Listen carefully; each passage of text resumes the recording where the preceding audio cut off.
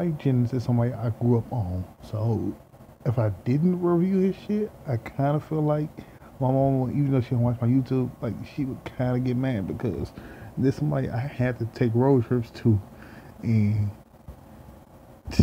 it's that nigga. Yours, which I fuck with. Uh, Tell Me featuring Angela, which was cool. Uh, Slave, which was uh, new chick was uh, featuring Bobby V and Boosie, which it, gave a mixed emotions because Lyfe is one of them broken R&B artists where he can sing. Don't get me wrong, but I got my own style where I call it broken R&B because it's somewhere in the middle of rapping and singing, where even if they can hit the notes right and they can sing right, it's broken because it, it still tears on hip hop.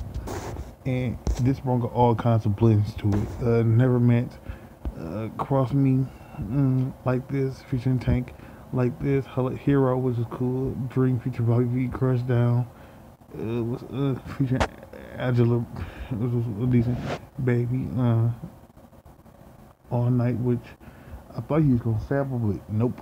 Uh, and uh, and, uh, and Guy Interval, which this whole project is solid for the women and the men that actually listen to his music.